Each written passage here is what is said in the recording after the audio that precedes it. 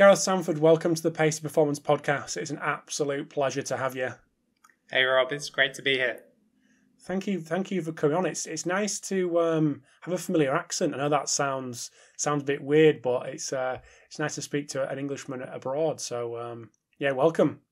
Thank you, and it's uh, it's nice to say the accent is still there because it's, yeah, uh, been a little while since I was living living in the UK. So how long how long has it been? Uh, I left the UK in 2015 uh, to move to New Zealand, and okay. then I'm now in Canada. So it's been through the wash a little bit. Yeah, and holding on strong, which is nice. Yeah. It's good. It's good. So anyone that doesn't know who you are, Gareth, would you mind giving us a little bit of a, a background yourself? And there's, there's so much for us to go into today. So a couple of minutes, and then we'll dive straight in. Yep, sounds good. So originally from the UK, uh, from Hertfordshire area, and uh, did a master's and uh, undergrad at Loughborough University in sports science and exercise physiology, with a year's placement at Chelsea Football Club. Then did some sprints coaching in the UK, in the US, and in India in a tribal community. In 2015, moved to New Zealand and did a PhD there with their Athletics Federation and the Science and Medicine Institute. Part of that involved a six and a half month world tour of uh, middle distance running squads and performance environments, which we can get into in a, a little while. And then in 2018, uh, end of 2018, I moved out to Victoria, British Columbia, where I'm at at the moment, um, where I have a dual role as researcher, uh, physiologist um, for Athletics Canada, and working with CSI Pacific here, the Canadian Sport Institute, and University of British Columbia. Just got back from the Tokyo Games and uh, yeah, exploring what the next option is right now. So yeah, it's been a, a busy couple of months. I bet. Let's talk about this world tour. I'm fascinated. I'm fascinated. So that was part of the that was part of the PhD. That's right. That's okay. right. What was what was the aims of of getting on the road? Yeah. So I guess as a as a kind of overview of of the trip, it was sixty eight thousand kilometers. So that's about one and one and a half times around the world, um, with eight different nations 80 coaches, 200 athletes. And the idea was to A, be collecting some PhD data along the way, but also understand um, two of the following questions. So the first one was that I was getting from lots of coaches in this middle distance area. So when I say middle distance, I'm talking about sports in the one to five minute range. So for athletics, that's the 800, the 1500 meters. The two questions I was focusing on was how do we better understand the complexity of athlete profiles that you see in that middle distance event? Meaning, some some coaches will have athletes for the 800 that come at it from a speed side of things, so moving up from the 400, and then there are others who will come from the more endurance end, the 800, 1500 types, and then there are some people everywhere in between, and and coaches have this puzzle of how do we get the best out of those athletes. So that was that was one question. The second question was how fast is fast enough in terms of absolute sprinting speed when you're in a sport that equally requires a very high aerobic demand of the athletes. We had a very good idea of, you know, you need a VO2 max of 70 plus or minus, um, but how much sprint speed is enough? And then what are the implications of that with things like the anaerobic speed reserve, which we can get into as we, we go through. So that's an overview of, of what we were looking at there. So at what point in your PhD did this trip come around? This towards the start, yeah, so you had some. Sorry, you didn't have any idea of, of what was actually out there, or towards the end when you'd kind of started to build up an understanding of what was out there. At the start, you, I guess, do a scope of the area, and uh, it's probably good to point out that the research bias was as follows: you do a, a, a journal search for VO2 max, you get ten thousand hits. You search for running economy, you get 3,000 hits. Lactate threshold, 3 3,000 hits. Critical speed, maybe 4,000 hits. Anaerobic speed reserve, when I started, had nine hits. And I think that landscape is important to present because we can run into a trap of what we can measure is all there is. And there are important questions for us on the ground with our sports that we can't really always measure that well, but they're still important. And so, what I I guess, decided to do was look at okay, well, how can we start to get at that space beyond VO2 max with measures that we can be comfortable are valid, reliable, have high signal, um, and are easy to capture in an elite population. And so the anaerobic speed reserve was, and the maximal sprinting speed being the top end of that, was an easy measure to, to capture. So at the front end, doing that scoping exercise, seeing the, the gap in the in the area, and then the questions coming from the coaches, kind of matching up of, oh well, maybe if they are seeing this complexity, well, what can represent that? Maybe a, a crude measure of you know neuromuscular mechanical capability in terms of sprinting speed as a ceiling, and then maybe the maximal aerobic speed to to capture that aerobic piece. So explain to us what the anaerobic speed reserve is. You may yeah. just done that exactly there, sure. but yeah, yeah, yeah. So as a starting point, it's um it's a speed range. So it's from the maximal aerobic speed, which represents the first speed at which you would hit VO2 max in a laboratory test. Obviously, people using that in the field are doing that without gas analysis, which is why it's different to say velocity at VO2 max, and can also be used as maximal aerobic power and it would be seen as more of a performance measure because you aren't uh, directly measuring the gas. Um, and then the maximal sprinting speed, um, I use a 50 meter all out sprint for that from a standing start. Some of that is population specific. So, for example, there is data in elite sprinters showing they reach top speed after maybe 60 meters, whereas in maybe junior team sport athletes, it's maybe nearer the 30, 40 meter mark. So there is a population specific constraint on that that top end, but that's that's what the anaerobic speed reserve is. So because there's only nine hits when you when you did that scoping exercise at the start, when you actually got out there in the field on this on this world tour, which sounds absolutely delightful, by the way. Um, obviously, there was work going on in the in the midst of that, but it sounds an yeah. unbelievable experience. Were coaches out there exposing their athletes to this to anaerobic speed reserve, or was it people knew about it but kind of didn't really take any notice?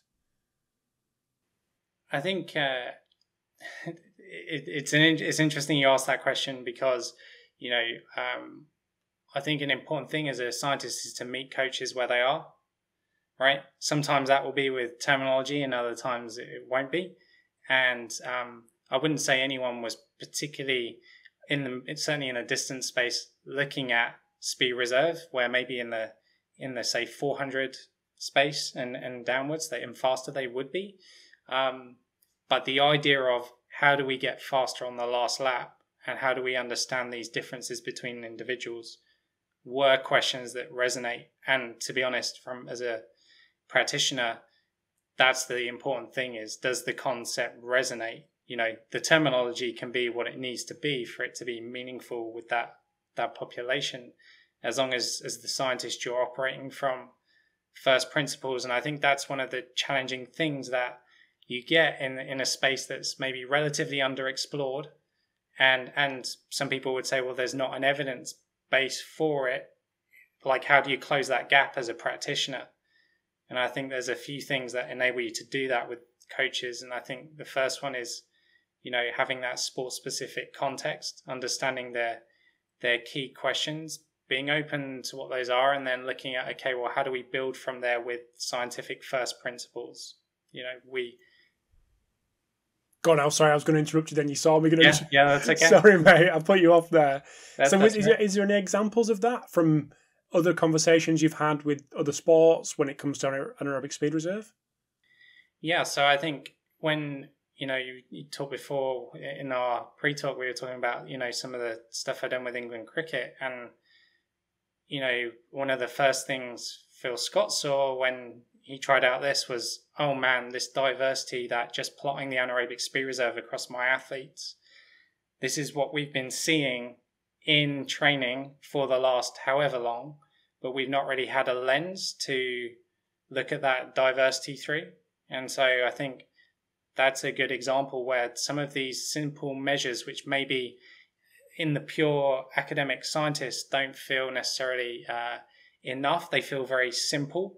But as a first layer, the richness of the discussions that can create are quite extraordinary for people. And that doesn't mean that you have all the answers necessarily once you've identified the diversity. But if there's one thing that people take away from this conversation on anaerobic speed reserve, is to start looking at their populations through different subgroup lenses because if you do that, you start asking different questions. Um, and, and if you're not doing that, then I think there's there's things that are being left on the table, which we can maybe um, unpack a bit more. Absolutely. Just taking it back a little bit, I should have asked this Sure. right when you mentioned it. So we've got the maximal aerobic speed, That's right. we've got top speed. Yep. Okay, we've collected though we've got those numbers, we've got that data for our squad. What's the next what's the next step in this in this process? Yeah, so another important measure within that is critical speed. And you'll notice that that's not part of the anaerobic speed reserve.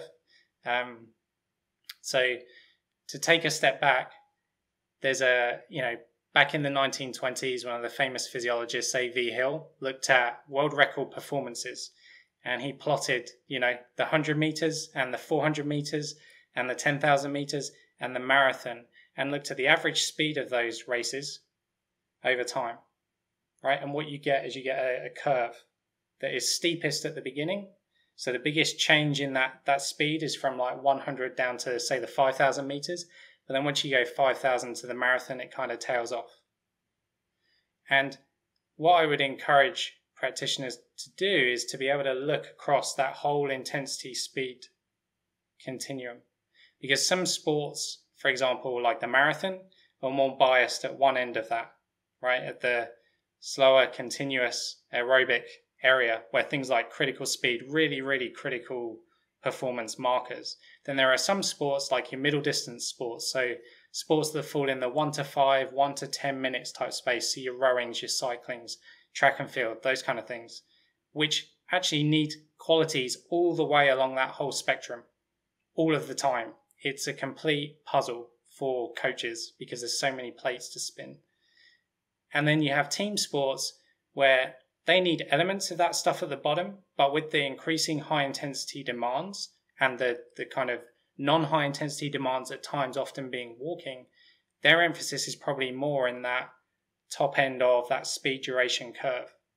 And what that means is for practitioners that that, that top end is going to have the biggest diversity of profiles because you're getting people approaching that from from different ends. Now, why that is important from a training application side of things is because some people will start with a model, a training model, like, oh, I use critical speed for programming, or I use the anaerobic speed reserve for programming, or I use, um, you know, a five zone training model that starts at VO2 max and goes down south. And each of those have strengths as a model, and each of those have limitations. And not every, not one of those model is going to solve every training question or problem or idea that you have.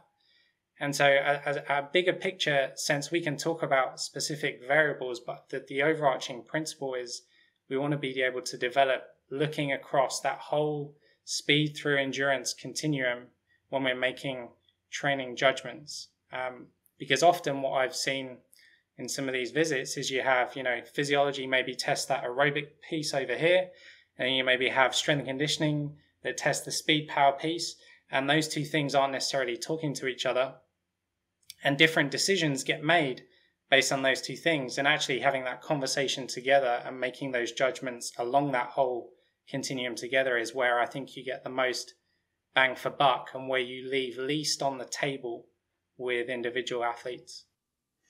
So you mentioned the ability to create subgroups, and I think that was in the Yes. in the mention about about Yep. Phil and his his work with England cricket. Can you Mm. explain that a little bit more for us? Yeah, yeah. So what what what the model based framework I just talked through. So say let's say you know I use um, a five zone training model for my athletes to improve them, and I put everyone through that five zone model. There are some athletes that are probably going to respond better to that, and some where it's really just not going to work for them at all. Now, one of the reasons I think that it doesn't work for some people is that these models are, let's say, suited towards endurance type profiles, so more slow twitch type athletes. And when you think about, again, at the beginning, we talked about the distribution of the literature being predominantly on the aerobic side. A lot of the training models kind of a bias in that direction. So a lot of the findings of, you know, this type of training is what works the best is based on a skewed reality where it, it's focused on that endurance side of the, the population. Now, then coaches have this complexity question, right? And you say, okay, well, this, this kind of model is working for some people, but it's not working for others. Now, what we can do at the front end, before we've chosen our training model for an individual, is go, what's the distribution in our group?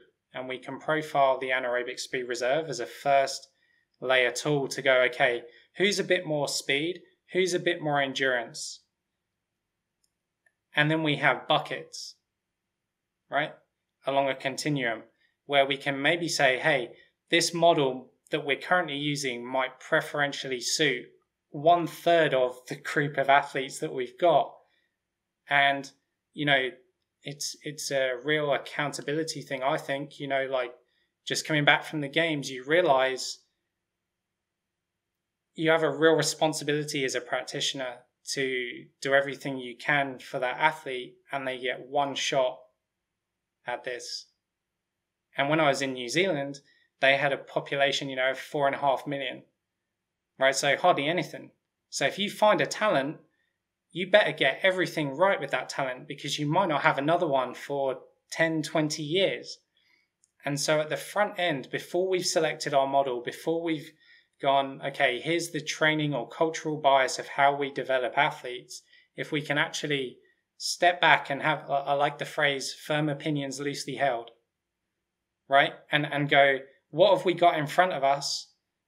And then how do we, you know, how do we proceed on here based on where somebody is at. And so each sport is going to have, let's say, a ticket to the dance, right? There's going to be a minimum level of aerobic capability you need to be in a 1500 meter Olympic final. But guess what? Once you're on the start line, everyone also is in that same ballpark. And so there are things that you, Rob, would bring to the table that we want to maximize to make sure that can be your weapon in that kind of scenario. So it's not saying, hey, this person's speed based, we only do speed stuff. You need to look at the individual first, profile the athlete, and then what are the demands of the sport that you're in, and then what are the goals of the athlete. And I realize at the elite level, that's probably a bit easier. If you're someone who's listening and you're working in the athlete development space, then a framework I like to think about with this is something called ABZ, which is um, a, an example one of the startup guys, Sean Puri, uses. And what he says is you want to know where you are. That's number A, right? Letter A, where you are. So you can identify that with your profiling. Then you go, okay, what's your Z, right? Where are we trying to get to? You know, if you're if you're an 18 year old, say academy player, or you're, you know, what's the long term goal? Are you trying to be an Olympic finalist? Are you trying to get a scholarship at college? And each of those will create different types of demands of what you're trying to aim for. And then based on that, you can go, okay, now what's the next step? And that for for individuals, I think, is a much more uh, it gives it gives you a much greater chance of getting more hits right? Because you're zooming in on what that individual needs rather than here's a model which says, okay, on in five weeks' time on a Thursday at 2 p.m. we're going to be doing this. And I and I realize that it's uh, it's easy to say, harder to execute, and there are realities for coaches that have 50 athletes to take care of. But even if, as a minimum, you were able to do that first piece of hey, who have we got in front of us? And you could bucket your 50 group across that continuum. You could target each of those three groups with a more specific stimulus than going, here's a model, let's put everyone through that. Have you seen any good example? Oh, I'm guessing you have. I know probably know the answer already, but have you seen any really good examples of people who have got them constraints that you mentioned of large groups, team sports, just because of the audience that listens to this podcast, probably sports scientists and the conditioning coaches who yep. are in them team sport environments. So any little anecdotes of how successful organizations have, have implemented this kind of thing would be absolutely amazing. Yeah, I think probably a good. Uh, I'm doing you a bit of a favor here, Rob, but I think probably the episode you did with um, with Ben Rosenblatt and Martin yes. Evans at the FA, um, that was a big collaborative work piece of work that I did with those guys for yeah, sort of an 18 month period uh, pre pandemic. And they talked about in that episode how, given that profiling, they were able to bring together the however many squads it is across the the FA with you know different age groups, um, actually streamline that. So we're now all talking about the same kind of language. You know, in in in middle distance sense, I would talk about 400, 800 athletes and 800 athletes and 800, 1500 athletes but they might talk about flyers and other things, but using those same principles of what are the what's the diversity within a typical squad. You know, Bukayo Saka is very different to Phil Foden, right? Who's very different to Harry Kane, who's very different to Harry Maguire, right? And so you look at that and go, okay, what what categories are we using to understand who we've got? Because typically in team sports, it might be positionally right? So we might say, here's all the centre backs, here's all the, you know, fullbacks. And that has pros and importance from a technical, tactical point of view. But perhaps when it comes to physical conditioning, we can have diverse profiles within a position. And so that can mean with some athletes, we're leaving a lot on the table, you know, where, yeah, maybe they're improving, but the question I'd ask is, are they reaching their potential, which is ultimately the question. Mm-hmm. Just looking at the centre backs using England as an example, like John Stones and Harry Maguire. Yeah, yeah big contrast. Big contrast. Yeah. So the so how did that? I was going to say sarcastically, how did that end up? That didn't go too bad, did it? With the uh, the FA leading to yeah. this leading to this summer, did all right. Yeah, completely, completely. Get the, yeah, the final. Um, yeah, and I think it's you know at, at a certain level of um, you know the elite sport continuum, like individualizing and maximizing your own strengths becomes becomes the thing. And you know you want to you're asking about observations from the trip. Well the the the most consistent successful squads i saw were people who were asking these kind of questions as part of their daily practice right? They were daily questioning these things and it's a new season. Okay what are we going to do different this time. We're at a different point in the river. The limiting factors in our squad, in our athletes have shifted. What does that now mean? And yeah, when you first profile, you know, a squad, depending on how much you've tapped out or trained those qualities, um, they are going to shift. You know, someone who's at one end might just be at one end because they've really undertrained one of those two components. But after you've after you've had you know a period of time with people in a program, you will sort out very quickly what kind of diversity you've got. And a, a, nice way of doing that without if you if you don't have the tools to profile we can talk about maybe how you do that easily in a second but a very easy way to do it is you know what type of sessions does this athlete really enjoy? Or what are they good at? You know and you might have two or three of those. And then which are the two or three that they really don't enjoy right? And and right now with a pen and paper, you could probably do that, right, with your squad. And I remember Phil did that before he actually did the uh, speed reserve profiling of his group, and it was pretty good um, in comparison. And and that's important too because you know no one test is going to give you the whole picture. It's a starting point as a line in the sand for a discussion based on the question you're asking or the decision you're trying to make.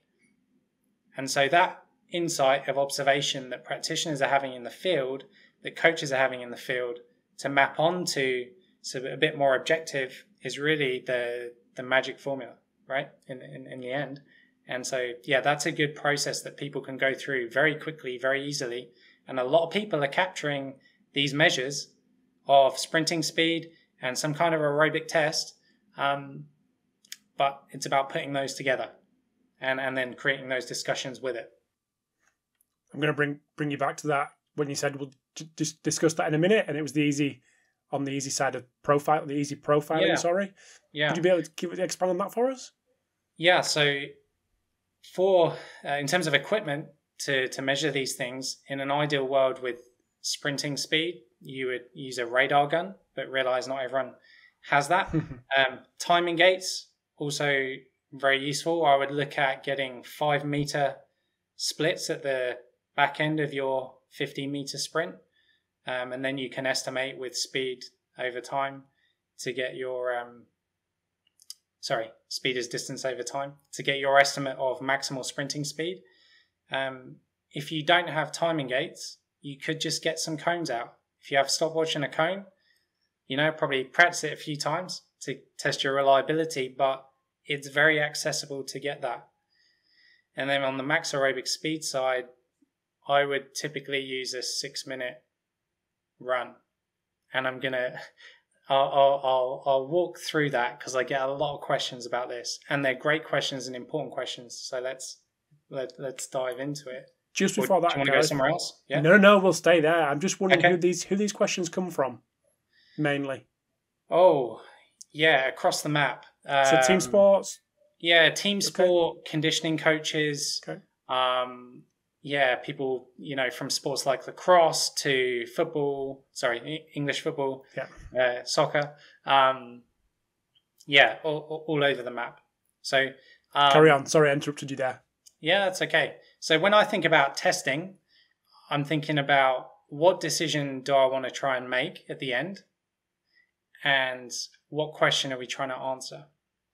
So if we take, if we say, for example, that I want to test for aerobic fitness, let's say, and maximal aerobic speed is the marker we've used in our program.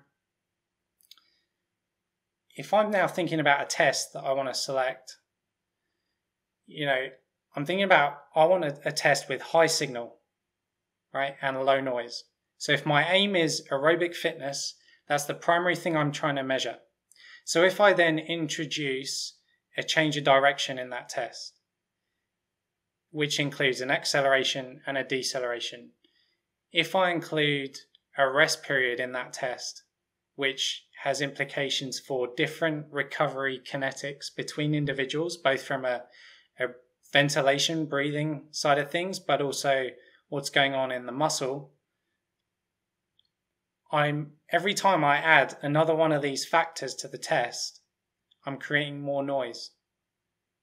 And so the thing that I originally wanted to look at and make a decision about, which was aerobic fitness, I'm now adding more and more variables. So when I retest and someone improves, did they improve because their change of direction was better? They were better at accelerating or decelerating, could be one of those.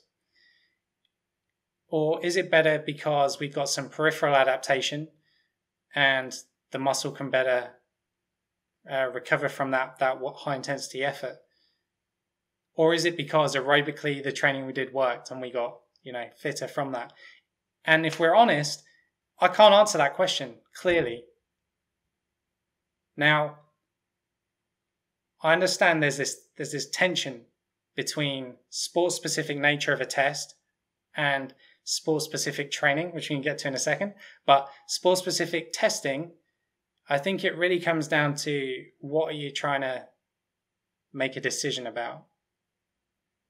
Because in that scenario I just walked through, it's very hard to go, yeah, we did this block of aerobic work and it moved the needle. Well, did it? Is that what moved the needle? Or was it you're now better at decelerating? Because of because you listen to what Damien's been talking about, right? And you've been doing that that kind of work. And so the signal to noise principle, I think, is really central to this question. Um, we talked about critical speed before, and I'll just touch on this because the principle of critical speed is really important for people. Um, from a physiological term, like I get a lot of questions from academics why don't we use critical speed at the bottom of the anaerobic speed reserve in terms of maximal aerobic speed. So I'll just tackle that uh, quickly. So what critical speed is is it's the last intensity where the body, from a fuel perspective, is primarily relying on almost exclusively the aerobic system to deliver that performance.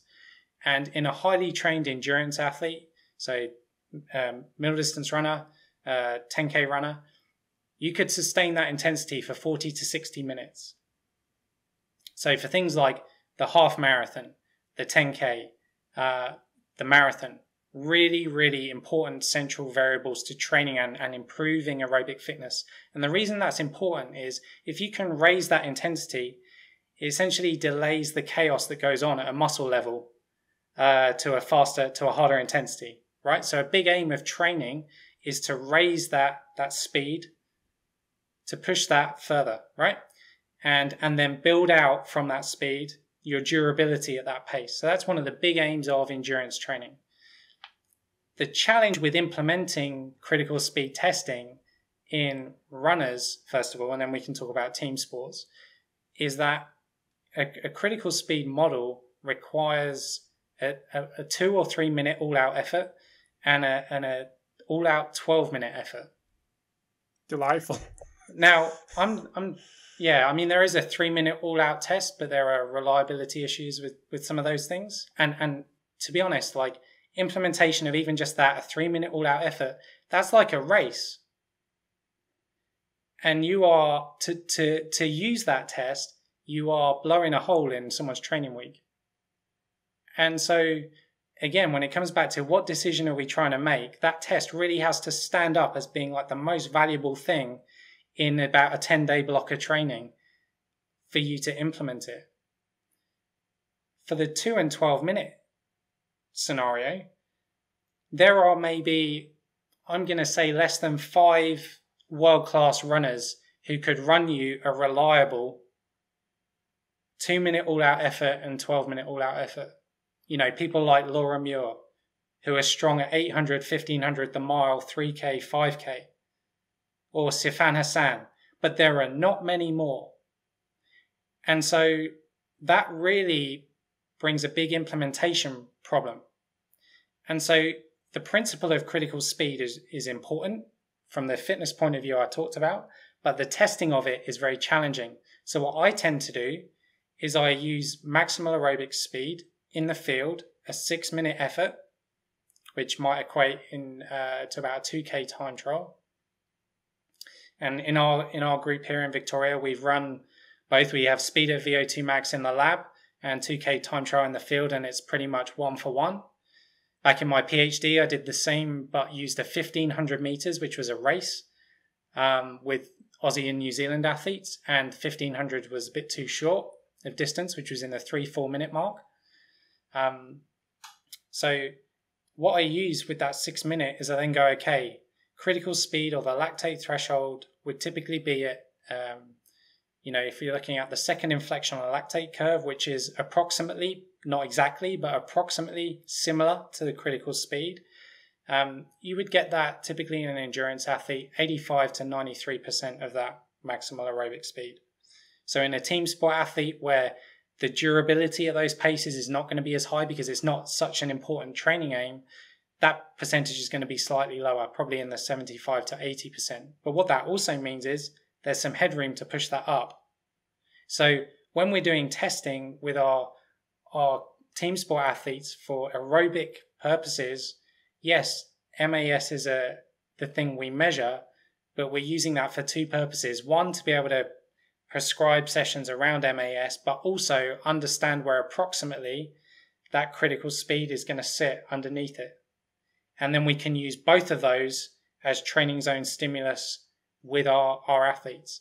And then when you put a subgroup lens on top of that, the more endurance based athletes within your group, that side of things, the critical speed particularly, is like bread and butter for those guys that's how you get. So you look at again, we're talking about the England football team, but let's stay there. So someone like a Jordan Henderson or a James Milner, very very different type of athlete to a Bukayo Saka or a Raheem Sterling. You know, so someone like a Bukayo Saka, you give him tons of um, that kind of long efforts at critical speed, that would break someone like that. It's too much of a stimulus from from a number of angles. Let's come back to that. But for for your more aerobic, run all day type athlete, that kind of stuff is really going to maximize the aerobic qualities that they have. Whereas the more speed endurance, harder anaerobic stuff probably flattens them a bit. Because if you look at it from a um, muscle physiology perspective, if they're more slow twitch as an athlete, their muscle machinery is built to work more aerobically. That's their preference. Right. So you want to maximize that type of system in that type of athlete. Whereas you start doing lots of hard anaerobic stuff with that type of athlete, they don't have the same glycolytic capability at a muscle level to cope with that. And so it can fatigue and flatten more. So in those type of athletes, you really want to build that aerobic side of things. And then maybe sprinkle some of those other things. Um, Again, so I'll, I'll, maybe just pause there. That was a lot. No, no, no, no, no. That's great. No, mate, yeah. I'm, I'm, I'm letting you roll. This is fantastic. You said you were going to come back to the Saka yeah. So so if you take if you if you take someone like a Bukayo Saka, you put them in that same situation. The principle of critical speed is still important because there's a minimum kind of aerobic demand that you need to be able to handle 90 minutes three times a week. You know, well, Arsenal aren't quite in Europe at the moment, but that's a that's a whole other whole other way. yeah, yeah. But but you know, if you're a top four team and you're playing three times a week, you do have to have that minimum level of aerobic stimulus. The question is, how do you get there?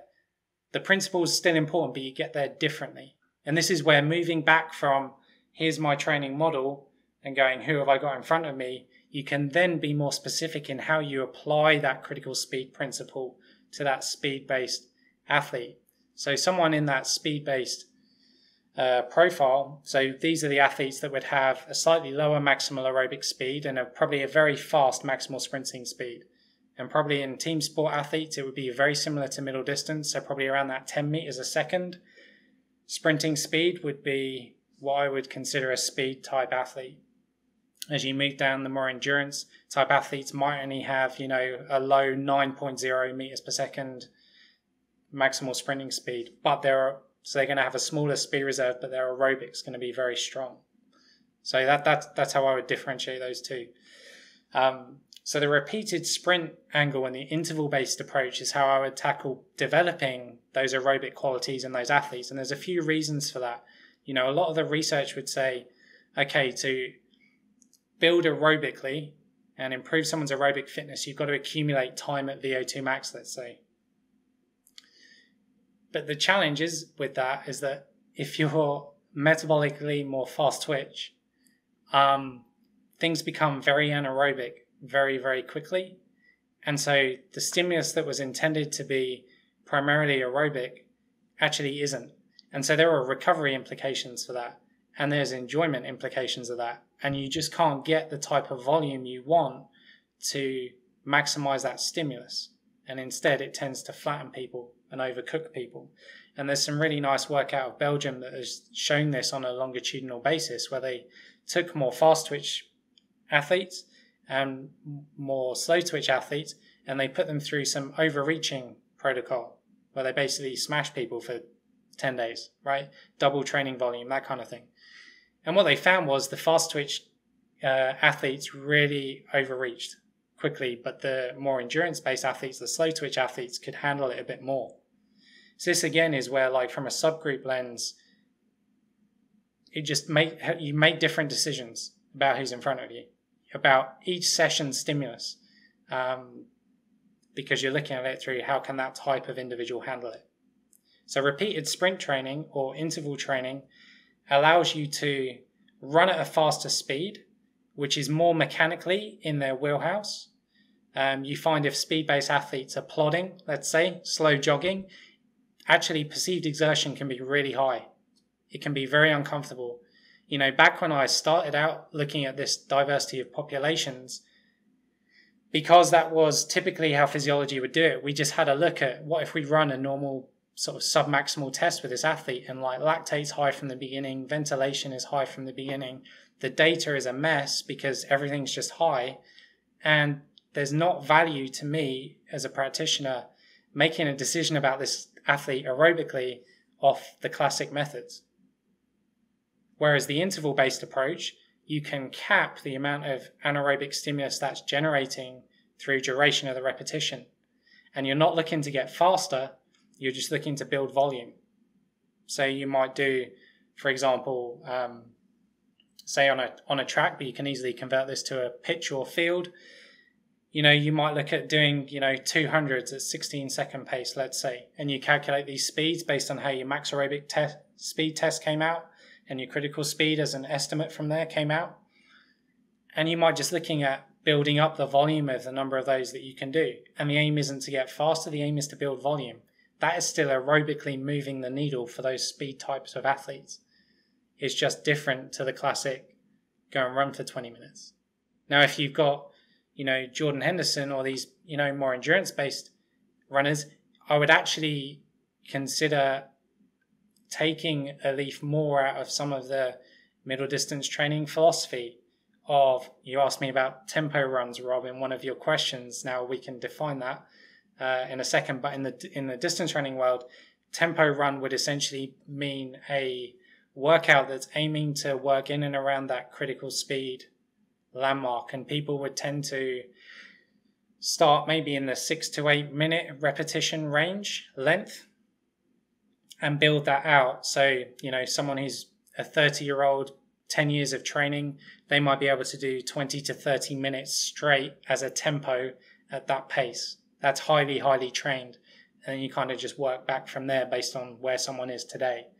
Um, and so, using that principle of tempo, I would be looking at how can I sneak that into my week with those type of athletes, because I realize conditioning coaches might have 15 minutes in a warm up. And a great application of this is um, you may remember Jessica Ennis, who won heptathlon gold at the London Olympics, worked very closely with Steve Ingham. And I remember Steve telling me a story about how with Jess, you know, they had this challenge of you got seven events, a lot of them speed power, you know, in the heptathlon, you got high jump, long jump, 200 meters, 110 hurdles, a couple of throws, and an 800 at the end and the 800 leading into London was letting her down. So the question from the coach was how do we improve aerobically without taking away from the high jump, without taking away from the long jump? It's the same question that team sports are asking, Absolutely. the middle distance coaches and, uh, uh, are asking, right? What they did was taking this principle of critical speed was every day for a warm up, Jess would do some kind of plodding jog, right? and she didn't particularly enjoy it, but it was a warm up, right? And what they did over time was they actually just picked up the pace of that a little bit. So that actually it was nearer a kind of critical speed type effort. And it wasn't starting out trying to be a hero, trying to do 30 minutes a day. You haven't done it before, it's a new stimulus. Um, but what they did do was try and do two minutes a day, and then three minutes a day, and then four, and work up to five. And all of a sudden, across a week, you've accumulated, you know, 20 to 35 minutes at that pace, which sort of microdosing it like that um, over time compounds, right? And builds aerobic adaptation. And then when you retest and you look at where the maximum aerobic speed is, and you can judge those sessions of critical speed based on how someone's breathing. You know, when we do those tests with our endurance runners, yeah, we use the lab to test those landmarks or we use a key training session to see where you're at. But when we test that pace in the field, I'm on a bike with the athletes, listening to how they're breathing. If breathing's sounding like it's getting out of control, they're working too hard, you know, because they've moved beyond that sustainable pace. It's too hard. And then we might use lactate to check in. So there's lots of things that once you've got that initial landmark with your profiling, you can then in the field do those tests of what does this sound like? You know, are they working uh, too hard or or not hard enough? You know, and if they're not working hard enough and it's the pace you had before, well, they that's that's information and they've improved, and you can push that that needle a bit more. So that's how I would think about implementing that aerobic conditioning in a team sport setting.